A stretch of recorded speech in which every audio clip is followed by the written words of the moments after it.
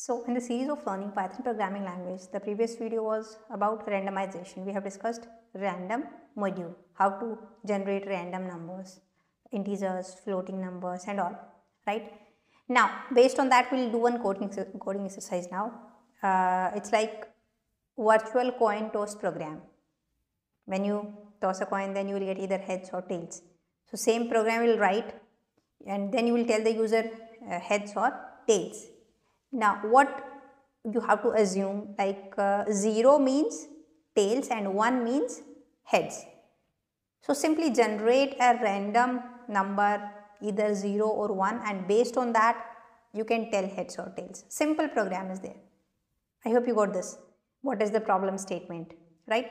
Now pause the video and try this program. So I hope you have done this. Now let's uh, create a new file and uh, it's coding exercise 11 right.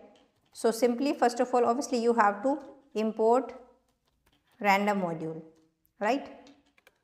So in this case now generate a random number between or you can say either 0 or 1. So what you can use for that? What function? randint we can use right. So how you will use that function? The module name dot the function is randint and just provide the range 0 to 1 both 0 and 1 are included. Right.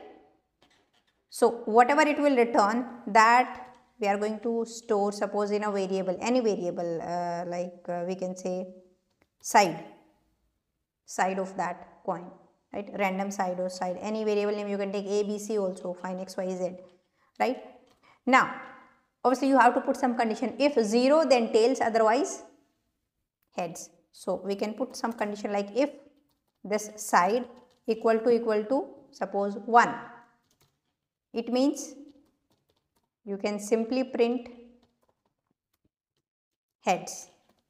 We are assuming 1 means heads. Else, I hope you are familiar with this if else because we have discussed this thing how to use if else in Python. Otherwise, tails. That's it. This is the simple program, right? Now, let me just run this and see. This time you are getting heads. Again heads. This time you are getting tails, right? And if you want to print the side also, then uh, here you can print like, uh, if you want to check print side. Let's run this. See, side is 1, that is why heads right. 1 again heads, 1 same you are getting. So, it is possible that you can get more than one time same. Now, this time see tails 0 and tails right. So, this is the simple program. So, in the next video we will see one more coding exercise that would be a little bit complicated than this one. So, now we will see in the next video till then bye bye take care.